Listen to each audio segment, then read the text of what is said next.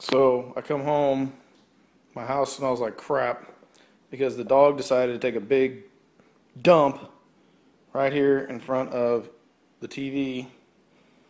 You'll notice that it's smeared all over the house because apparently he took this dump prior to 8 o'clock when, here's some more crap, when the automatic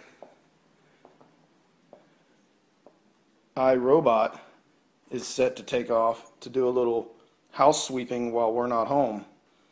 So he took this big giant crap and my iRobot smeared it all over my living room and house. I couldn't be happier right now. Unbelievable. Dragged it onto that rug carpet thing. I guess we're going to have to throw that thing away now. I don't know about cleaning that. I can't even walk around the house. There's crap everywhere. You gotta be kidding me.